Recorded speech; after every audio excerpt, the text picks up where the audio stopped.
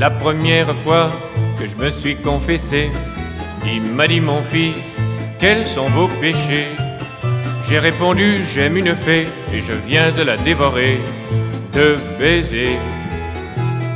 Vous êtes bien jeune, tout ça est bien laid, pressez-vous le nez, il en sort du lait.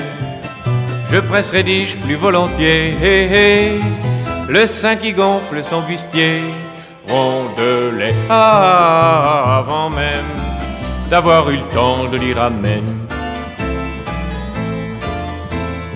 Il m'a dit mon fils, faudra la quitter et de chez Satan vite déserter. Le grand barbu serait fâché de savoir que vous ne fîtes qu'une bouchée de psyché.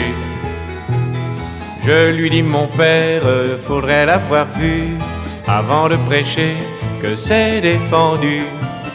Vous la verriez déshabillée, hé, aussitôt vous en tomberiez sur le cul avant même d'avoir eu le temps de lui ramener.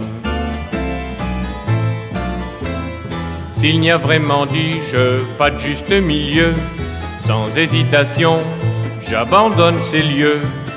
Ma fée belle, cher capucin, j'aime mieux m'adresser à ses seins qu'au bon Dieu.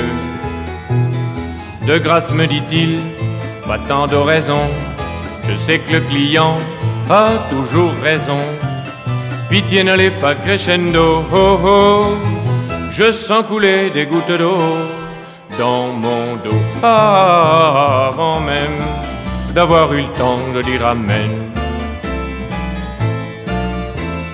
Malgré tout mon fils, quel horrible mal, mais s'il s'agit d'une fée, c'est un peu spécial. Épousez-la dès qu'il est dit, tout le monde sait qu'elle est dans votre lit. C'est normal.